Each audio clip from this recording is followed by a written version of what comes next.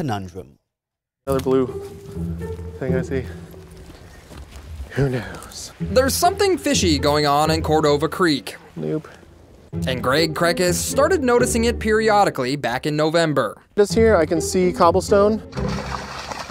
Salmon, they're pretty common this time of year, especially in the American River, but not in Cordova Creek.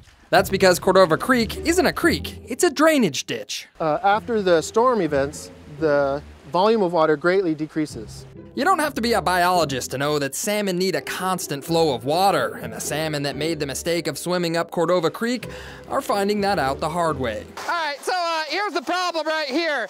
You see when that water flow stops coming in, the water drops and it creates barriers, and this is where the salmon pretty much die.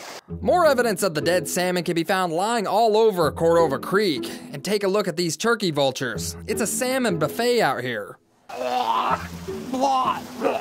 Okay, before you get sick to your stomach, you have to understand why the salmon are all of a sudden attracted to Cordova Creek. It used to be a drainage channel. It was denuded and sterile and concrete lined. This is Lily Allen with the Sacramento Water Forum. In 2015, her organization helped turn Cordova Creek from this into this. And it attracted a bunch of beneficial wildlife, including salmon. As a design group, we thought about this and we couldn't decide whether to encourage them or discourage them, so we decided to kind of leave it alone and let nature take its course.